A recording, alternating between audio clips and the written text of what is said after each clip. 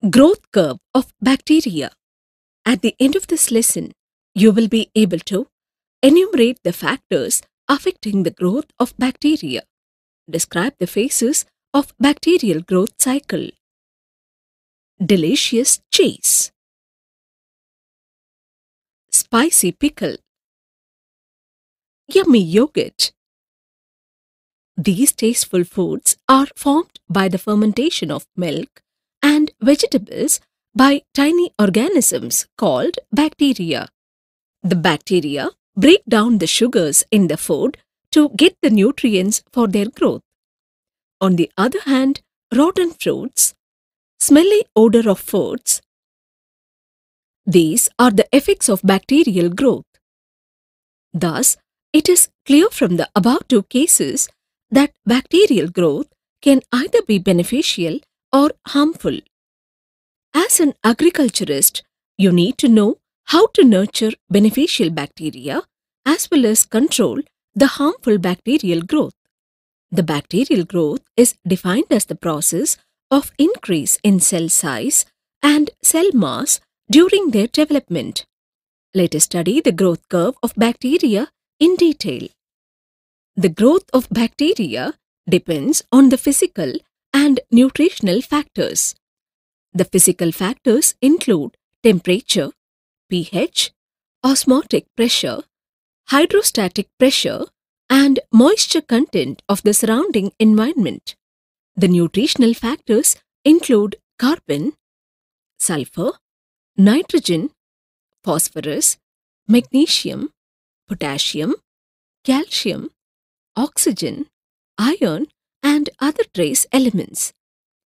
The bacteria acquire energy from the nutrients to undergo binary fission by which one cell divides into two, two divides into four, and so on in a corresponding pattern.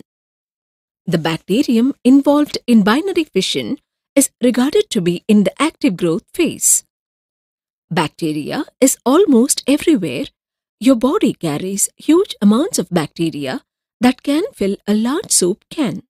It is highly impossible to monitor the growth of bacteria as they are invisible to naked eyes.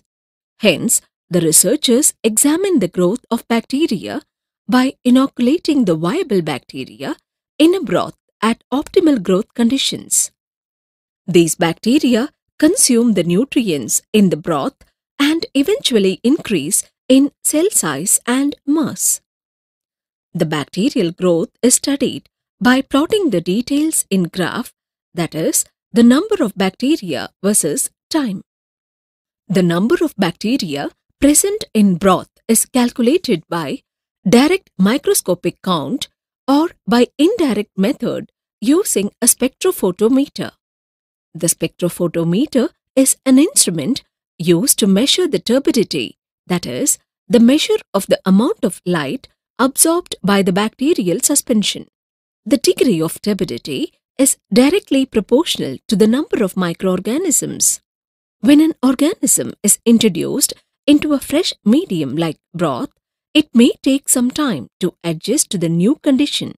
This delayed phase is termed as the lag phase or period of adjustment.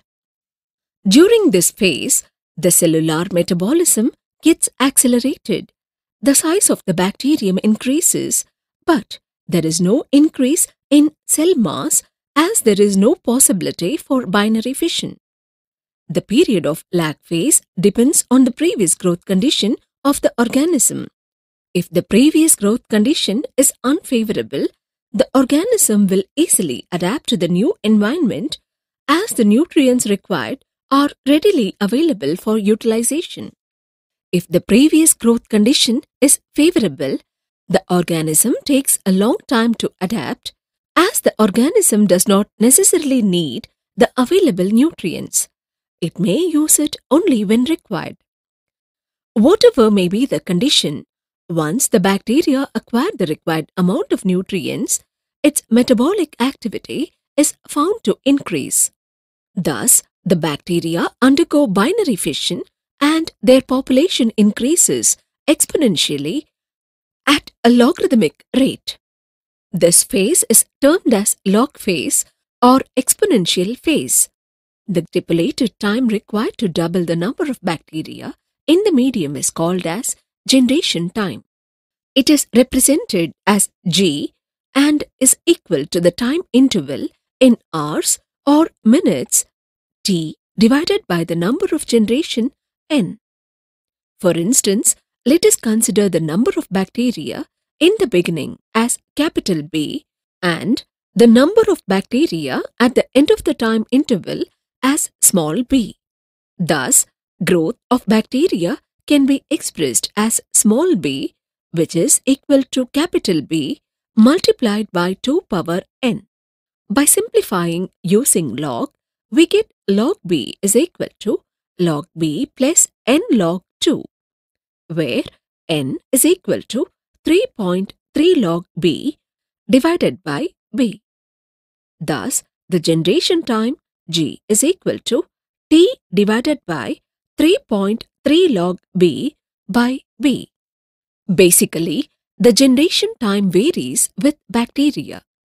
The table reveals the generation time of different bacteria under optimal growth conditions. As the bacteria continue to grow, all the nutrients in the growth medium are used up by the microorganisms for their rapid multiplication. This results in the accumulation of waste materials and secondary metabolites like antibiotics, toxins, etc.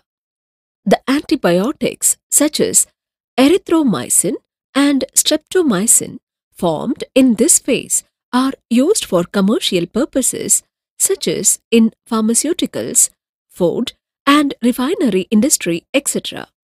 This changes the condition of the medium in terms of pH, pressure, etc., which in turn initiates cell mortality at a slow rate. This death rate is compensated by the formation of new one by binary fission. Thus, the bacterial count remains unaffected at this phase, hence it is called as the stationary phase. As this continues, at a certain point, the nutrients get depleted in the metabolic waste products. In addition, other toxic materials in the broth will force the bacterium to shift to the death phase. Hence, the death rate increases logarithmically. The bacterial species that can survive this condition are the spore-forming species which produce the endospores. By understanding these four phases, the researcher can optimize the conditions required for its maturity and multiplication. Summary Let us summarize what we have learned so far. When a bacterium is inoculated in a growth medium, the size and mass of the bacterium increases by utilizing the nutrients. The growth of bacteria depends on the physical and nutritional factors of the medium. The complete growth cycle of bacteria in the culture medium includes lag phase, log phase, stationary phase, and death phase.